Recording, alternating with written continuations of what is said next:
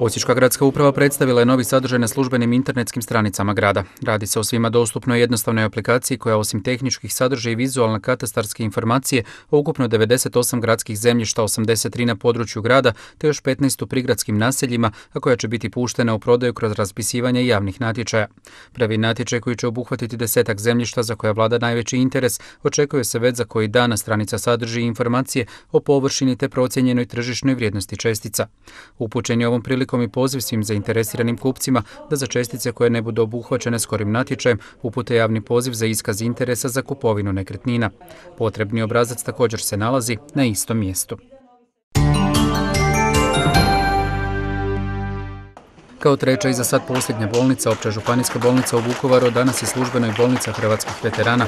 Dodatnih većih ulaganja u infrastrukturu i osoblje nije bilo, istaknuo je ministar zdravlja Siniša Varga nakon otkrivanja ploče s obzirom da inače ova bolnica nedovoljno iskorištena.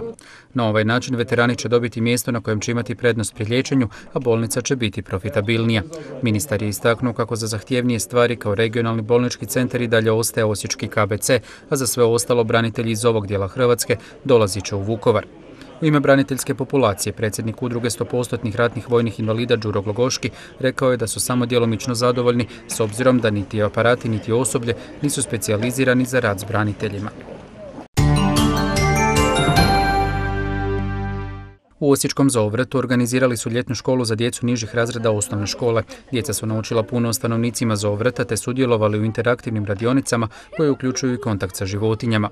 Svakog dana za djecu je organizirana druga prezentacija i druga radionica kod čimpanzi, nosatih rakuna, jelena, merkata i medvjeda. Između ostalog djeca su vidjela i kako se dvije medvjedice, mojce i špela, hlade sa ledenim santama kojima je ovo osvježenjeno i slatki među obrok. Životinje zapravo jedu zaleđeni smuti, izmiksa se nekoliko vrsta voća po potrebi se doda i meda te se zaleđeno servira.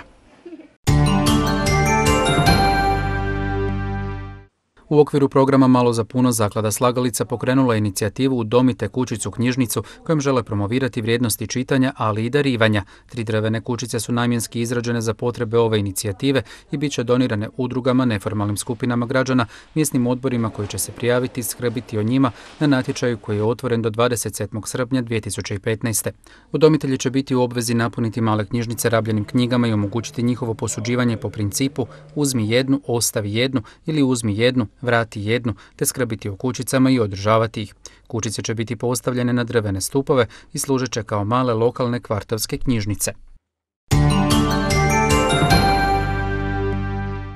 Mladi osječki skakac s motkom Dario Preklad nastupit će danas u kvalifikacijama svjetskog atletskog prvenstva za mlađe junire koje se održava u Kolumbijskom kaliju. 16-godišnji članaka Slavonije Žito i nasljednik osječkog olimpica Ivana Horvata nada se kako bi u Kolumbiji mogao ostvariti kvalifikacijski rezultat vredan ulaska u finale, a to znači među 12 najboljih mladih skakača s motkom do 17 godina. Dario Pregled dva puti ove sezone popravljajući osobni rekord ispunio normu za svjetsko prvenstvo. Skokom preko 470 cm osvojio je i srebro na juniorskom prvenstvu Hrvatske, a procjenjuje se kako bi za finale svjetskog prvenstva trebao skočiti još i više. Početak vikenda obilježit će pretežno sunčano, vrlo vruće i sparno vrijeme. U središnjoj Hrvatskoj popodne i prema kraju dana lokalno je moguć razvoj na oblake praćen kraćim pljuskovima i grmljavinom. U unutrašnjosti zemlje vjetar će biti slabnji jugozapadni. Jutro će u kopnenoj Hrvatskoj biti ugodno toplo, s temperaturama zraka između 18 i 25, a u najtoplijem dijelu dana diljem zemlje će biti vrlo vruće, između 33 do čak 39 Celzijevih stupnjeva.